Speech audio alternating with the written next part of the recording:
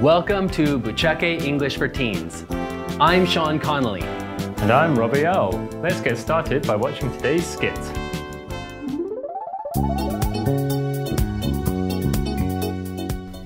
What's this called again? It's kakizome, the first calligraphy of the year. Oops. Samir, you're such a klutz. It looks like mountains characters? Samir, you're a genius. I'm keeping this.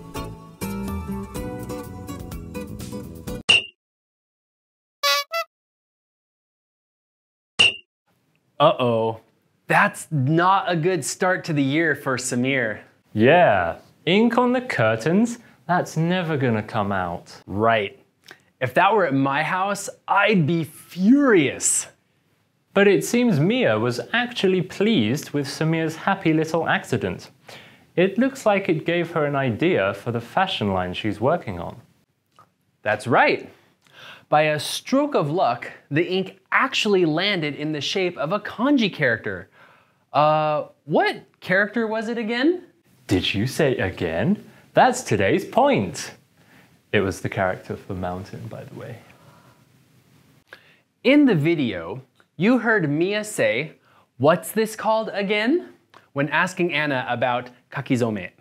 This again at the end of a question is used to ask for information you previously knew or have been told but have since forgotten. Therefore, we can assume that Anna told Mia the name for kakizome before and Mia simply forgot. Exactly. You should note that we often use this again at the end of 5W 1H questions. Remind me, uh, what are they again? They're who, what, where, when, why, and how. Oh, yeah, now I remember. Let's take a look at some examples where we can use again. Repeat after us. When's your birthday again? You got it. What's your cat's name again? Very nice. Where are you going this summer again? Excellent. How are we getting to the party again? Perfect. Those were some pretty great examples, weren't they? Uh, what's your name again? It's Robbie. Oh, yeah, of course. Now I guess it's time to wrap things up. Over to you, Rodney. Actually, it's your turn to wrap things up. Uh, are you feeling Oh, okay? right. Sorry, Rupert.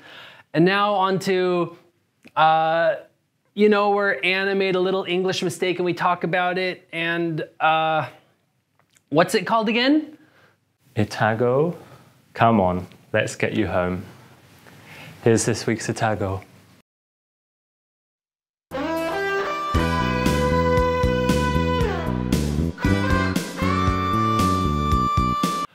Our Itago point for today is about how Anna described the ink stain on the curtain. That's right. She said, it looks like Mountain's character, which isn't quite right. As the apostrophe S structure is used for possession, Mountain's character sounds like the mountain owns the character, which sounds a bit strange. Exactly. In this case, Anna should have said, it looks like the character for Mountain. This structure of A for B is often used with things like symbols, signs, and numbers. Right. It's used to describe when one thing is representing another. Let's take a look at a few more situations where we can use this structure. If you're feeling a bit hungry but don't want to cook, you could ask, What's the phone number for Pizza Pacific? Or, if you're discussing cute characters, you could say, Polo the polar bear is the mascot for North University. If you're in chemistry class, your teacher might tell you something like AU is the chemical symbol for gold. Sean, you're good at science, right? Yeah, it was my favorite subject in high school. What's the chemical symbol for copper? CU. Oh, uh, are you going now? Uh, see you later. No, CU. Bye for now. See you next week. No, the chemical symbol for copper is Cu. Okay, bye. Look, if you don't know the answer, just say so. Sheesh. I give up. I guess we'll never know what the chemical symbol for copper is. Well, that's all for today. Be sure to try these phrases out and don't forget to have fun. If you like this video, don't forget to subscribe and give us a like. See you next week.